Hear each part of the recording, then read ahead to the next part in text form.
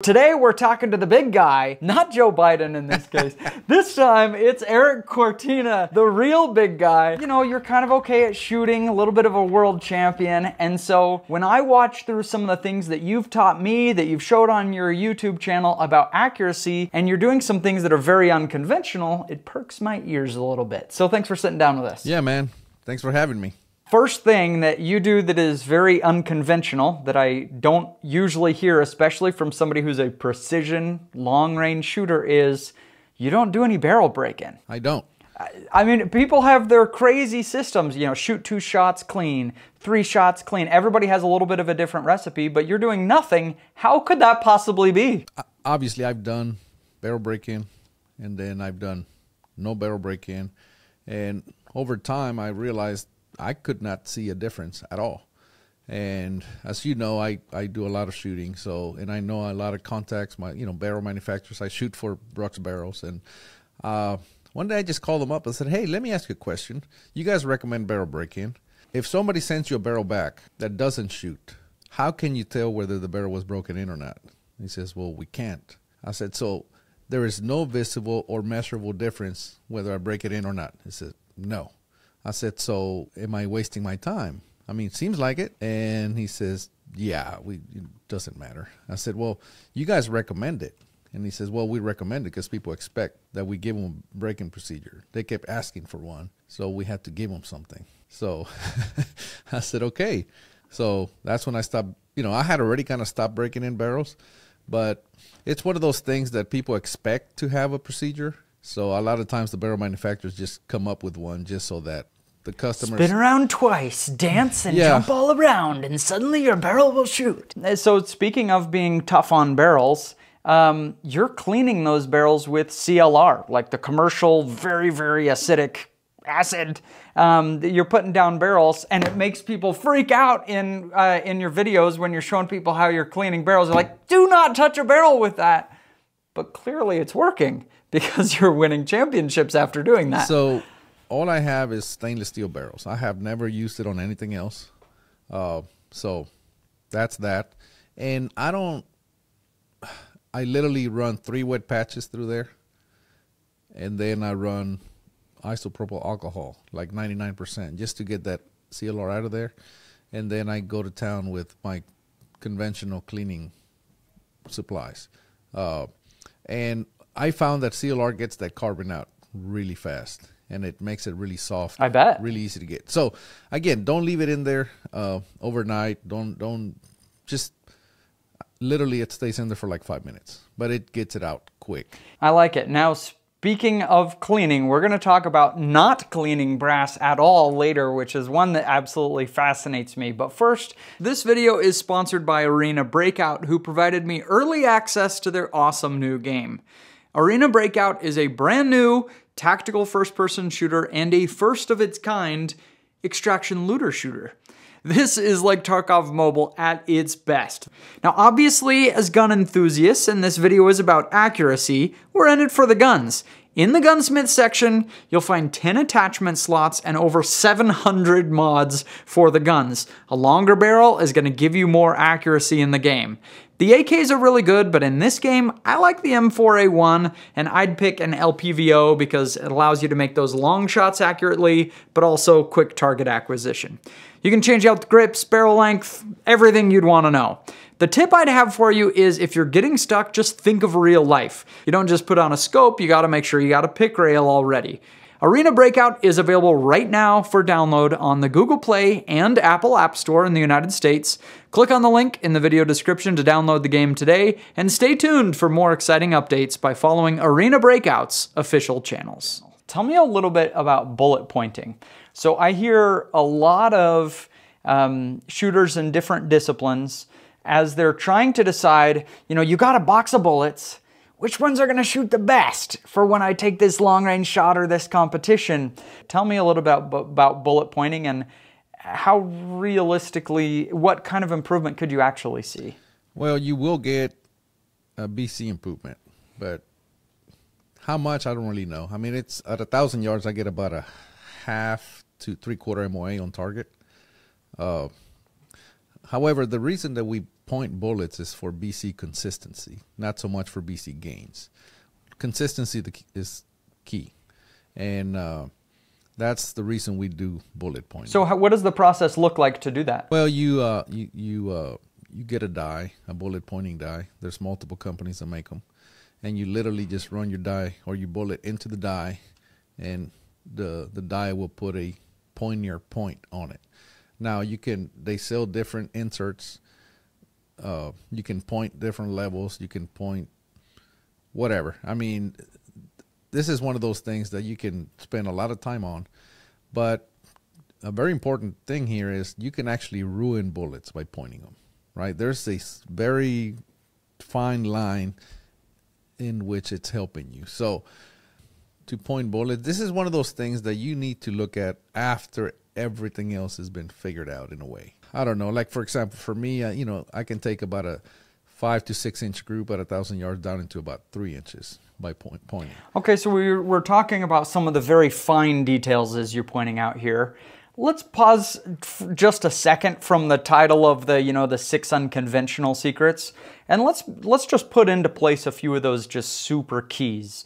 You know, if you take somebody who's just a very much a hobbyist but really wants to shoot accurately, they jump out of their truck with their setup and go to shoot with you.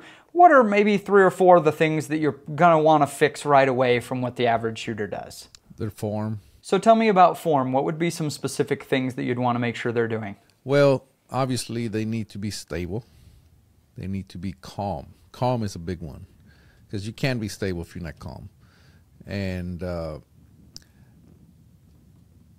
and they just need to have good form. Uh, you know, natural point of aim is the big one. That, that's you know, there I see a lot of shooters try to they kind of get on target and they're off, and instead of moving their whole body to line everything up, they just move the rifle, and now it's mm-hmm. not lined up. So the first time it recoils, it's gonna they just created a hinge point and it's going to jump all over and they're just going to think it's the rifle so recoil management is a big one and that falls under form uh, obviously how to break the trigger, when to break the trigger, uh, breathing, vision, sight picture. There's a lot in form, uh, and that's why we do a lot of dry firing. Uh, so when you're shooting in a precision match like F class that you shoot, um, so I we've got a bipod up front or some kind of front rest and then we've got a rear bag right under the back of the rifle. And um, often I hear from backfire fans as they're uh, as they're you know saying, ah, "I've got accuracy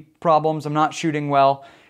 Almost every time, the first question I ask is, "What was your rear rest?" and so often the answer is my hand. You know, I've got a bipod and I use my hand at, at the back, and um, it that rear rest contributes so much to how stable you are. It's like that is a huge key. And so if you don't have a rear rest sandbag, that is absolute key. Even for just testing your hunting rifle to see how well the ammo shoots, you've got to have some kind of rear rest. You want to isolate the shooter as much as possible. You need the rifle to be as stable as possible. Every time seems like every time I post a video of how we actually shoot with the front rest and the rear bag, people say, "Well, the shooter's not doing anything. It's it's all supported." We're doing a lot, but the objective is to actually have the rifle as stable as possible because that's going to tell you how good the rifle shoots, not how good you shoot. Obviously, it's all mixed together, right? It's one system. So isolate as many things as possible. And yeah, rear bag, the front, you know, you have gonna have a good bipod or a front rest or whatever, and recoil management, all that. What's your preference for a front rest? I use Seb's, Sebastian Seb, uh, but you know that's for my F class stuff, competition that I do. But for uh, PRS and hunting, I I just use a bipod a good solid bipod. Okay, so the next one has been a subject of controversy. It is uh, barrel tuners. You were nice enough last time I shot with you to give me one of your tuners, uh, the awesome EC tuner brake. It is so well crafted. It, it feels like a fine piece of machinery. You're doing an awesome job with that.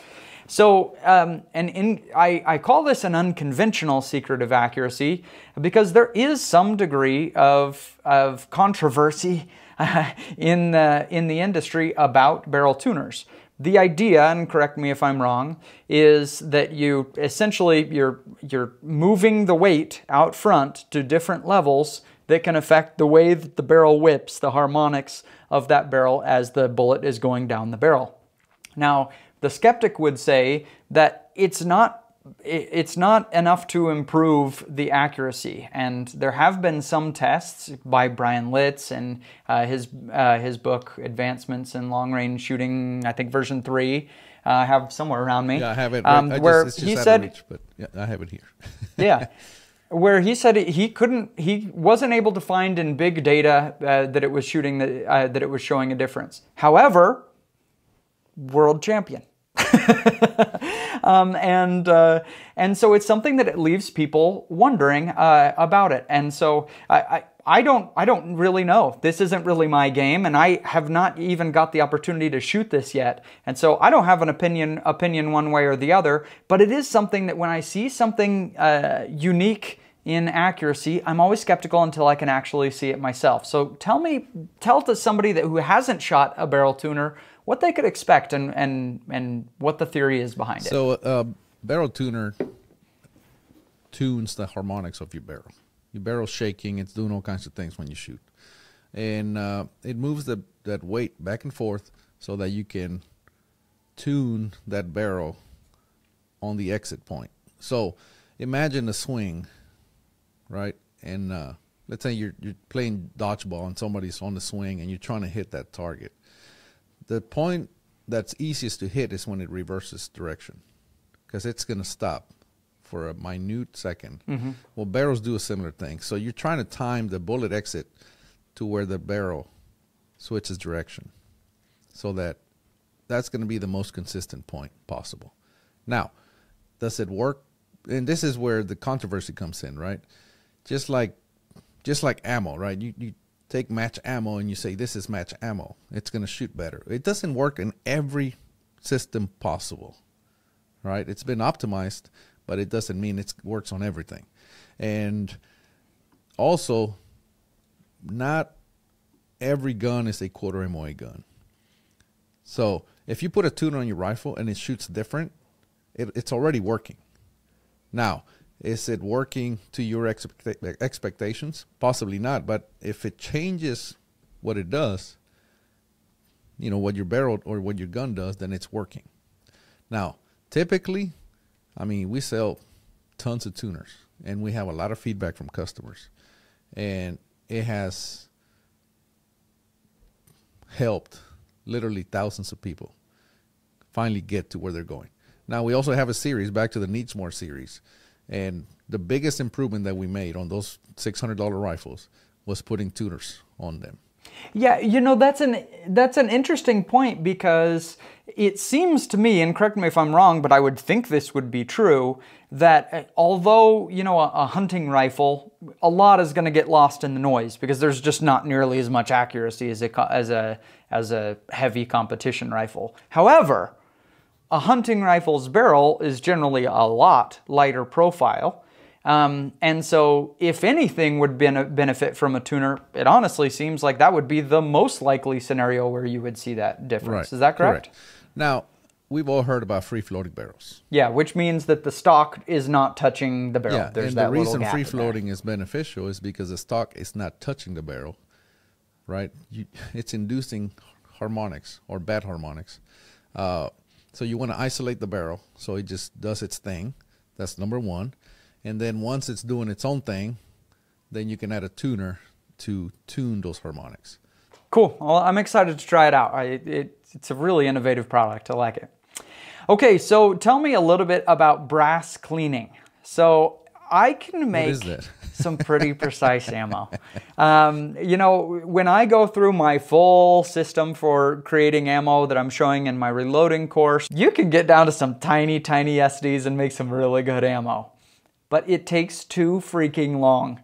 And there are so many steps in with ammo that we don't know for sure that it's going to make a difference here, but there's that potential that it could make a difference. So you think about you shoot it, you shoot shoot a lot of brass, and then you're going to reload.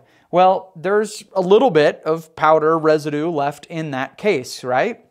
And you know that's where you would you would clean it, and you you can see it in there. The theory being, if you didn't clean it, well, that residue is by a minute amount changing the volume, the interior volume of that brass, and so you'd need to clean it so that you get a consistent result.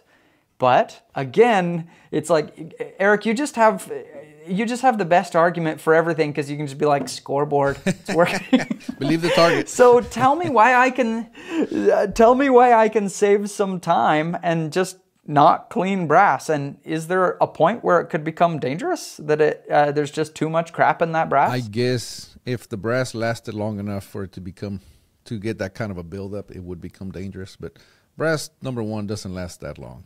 10, 15 firings. I've heard people shoot them a lot more, but th- that buildup that we talk about, it's not that much. I don't. It's. I guess you could measure it, but it's it's very negligible. So back to mm-hmm. you know I used to clean brass all the time. That that was one of my things that I always did because I always wanted to. I wanted to build the ammo exactly like I had done the previous one. Right, keep everything the same. Mm-hmm. Uh, but like you just said, it takes a long time.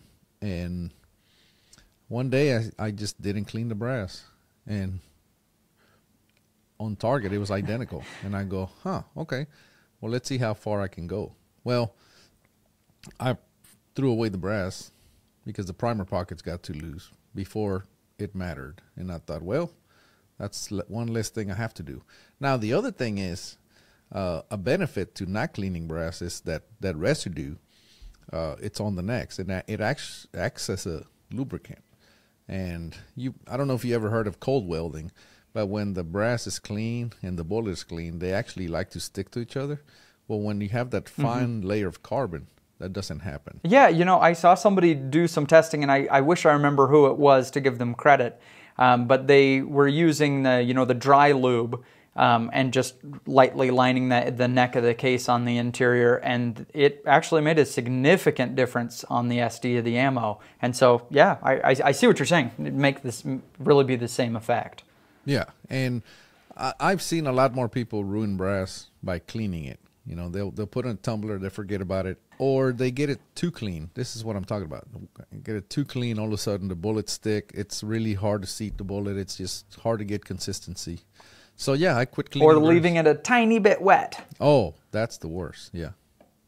Mm-hmm. So yeah, I eliminated all those and saved a ton of time. Well, I mean, push me over with a feather. You're telling me I can just save work. I'm in. Uh, honestly, that sounds awesome. That that would save me a few hours every week. So when we I talked earlier about you know you got your lot of bullets and trying to pick which one uh, to shoot is going to be the most accurate. I talked about uh, sorting by overall length. Um, and so let's say you just made a giant crop of, of ammo. Are you, how are you selecting the winners? This one goes in the competition pile and this one doesn't. Or no, they're all good, we're going. I have sorted bullets in every which way possible. And, you know, people ask, well, the, what matters most? It's the base to ogive. Just the weight sorting. Base to tip. You know, if we take this water bottle from here to here, pretty much where it contacts the yeah, rifle. exactly. Or base to tip, from the bottom to the tip of the bullet, and uh, or by weight or whatever you know, bearing surface, uh, bearing surface diameter. There's so many ways you can sort a bullet. The main ones are base to ogive, base to tip, and for the longest time we were sorting base to ogive because that's what the experts told us. However, the competition shooters, we said, well, let's try base to tip. Okay, so for example, I go back to Berger bullets. Weight, super consistent. You're wasting your time weighing them. Base to ogive, super consistent. You're wasting your time doing that. Base to tip, that's where we get the most variance. So we sort by base to tip. And because that's where you see hmm. the most variance, that's going to show up on target. And now, when I say on target, we're shooting a thousand yards. If you're shooting a hundred, right. I'm going to say if you're shooting 600 and in, just load them and go. Is the reason for that that at distance, uh, the BC changes, the tiny changes in the in the aerodynamics, let's say, of the bullet are going to show up a big time down downrange at a long distance. But at 100 yards, that tiny little variation you wouldn't notice. Is that correct? Correct. Even five, six hundred, it's not enough to to matter. How often do you clean your rifle, and what does a lubing policy look like? so I clean my rifle every time I use it. 20 shots or 80 or 100 shots, it gets cleaned. Typically in F-class, we don't ever go past 100 uh, in one day, but comes back and goes on a on my table, and it gets cleaned. Goes on a cradle, gets cleaned. The barrel gets cleaned down to bare metal every time. Uh, I disassemble the bolt every time. Uh, I make sure there's no dirt, no anything, and I use uh, I use Iosso. Iosso makes lube. It's a triple action lube, whatever. You put it on there, you wipe it off. It cleans and it lubricates. Very. It just leaves a film behind, and uh, I grease the bolt lugs for the action and the ramp, the cocking ramp on the bolt, and that's it. Very little, just enough to function. Now you said lubing properly. I've seen so many that over lube that creates more problems than anything. Because grease will actually slow down your bolt. It, it creates drag. At some point, if you get too much, it'll create drag, and if it gets in front of the in front of the firing pin where it hits the bolt, uh, the bolt, it'll actually create a cushion effect there, and it's just going to give you ignition problems. So, um, is the idea between cleaning every time you shoot to protect the barrel, or is cleaning every time you shoot the idea that you want the gun to be the same the next time you come and pick it I up? want it to, both. I want it to be identical every time. And I always say I can keep it consistently clean. I cannot keep it consistently dirty. I I have a hunting rifle that I keep consistently dirty um, it's sometimes different things uh, that I dirty it with. It could be mud today, sand tomorrow, whatever, but it's always dirty. um, I am kind of interested uh, on that. So I, I, totally understand, you know, why you're doing that. It makes total sense. Uh, I'm just kind of curious. So that one's a 6.5 Creedmoor Sig Cross. I have about 1,100 shots on it and I have never cleaned the darn thing, and it's still shooting half MOA. It's uh, it's a very very accurate rifle for a lightweight hunting rifle. Um, and I'm just curious to see when I start to run into into problems with it. And I know that's a different situation than what you're talking about, but I'm just I think it's fascinating to see where the limit is going to be. How far stepped back are you from pressure on a competition rifle? Uh, you know, for example, let's say pressure's at 65 grains where where or you're seeing pressure signs I should say on your brass at 65 grains. There could be actual pressure earlier but you're seeing signs of it on your brass at 65 how far do you where do you step down? Well it depends. Uh, I never want to run up against pressure uh, but it depends because we always looking for the smallest groups possible. So if I'm tuning a rifle and the small just the smallest groups is right at pressure I can't shoot there. Mm-hmm. So I have to back it off to the next window where it shoots well. And that may be two, three grains, you know, and and if it's too far below, then I have to change powders or change something. So so I to answer your question, I like to run a, at least a grain below max pressure. That's a grain on my, you know, my max, you know, my typical load is around 57, 58. Now, if you're doing a 223, that may be different right? So just don't run up against pressure. It's uh, again, if you have carbon buildup or you have a, a hot day or anything, you can. If you're pretty close to pressure, you're gonna you're gonna have a bad day. Yeah, I've made the mistake before of getting a load all ready to go, and then I go out a month later in the middle of the day when it's hot, and I'm like, oh great, we're starting over now because because suddenly that's yeah. overpressure. Well, Erik, it is an absolute privilege to get to talk to you and call you a friend. I've learned a ton of different things from you um, and enjoy watching it on your channel. So thanks for taking a minute to talk with us. Yeah, man, I appreciate it and I hope it helps.